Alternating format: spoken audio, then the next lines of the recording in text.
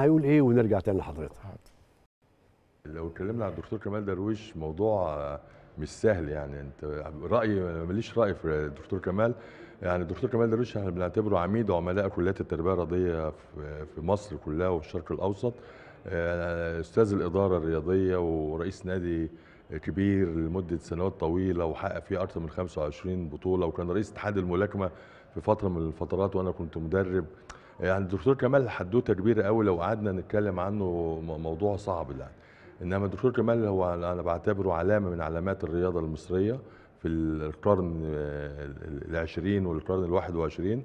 الدكتور كمال هو هنا كأستاذ إدارة في كلية التربية الرياضية إحنا بنتعلم منه كل الطلبة بتتعلم منه ال- الكثير والكثير في الحياة العملية والعلمية. إذا كنا إحنا برضو اتكلمنا عن الدكتور كمال بره برضو المجال الأهلي فأعتقد إحنا ليه أعداد كبيرة جدا هي مدرسة الدكتور كمال درويش في الإدارة وفي الاستثمار وفي التنظيم وفي العمل الجاد.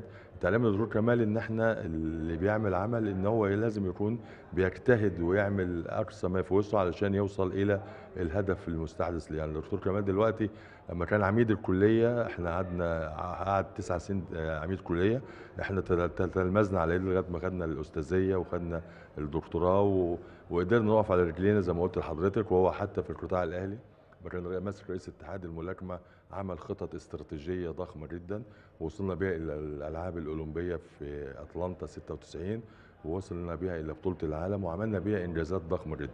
فالدكتور كمال مهما نتكلم عنه وأعتقد مش هنقدر نديله حقه الطبيعي إنما أنا بقول لحضرتك إن هو يكفي إن هو يكون عميد عمداء كليات التربية الرياضية وهو ال- الراعي الأول للإدارة الرياضية في مصر. هتقول إيه للدكتور عبد العزيز؟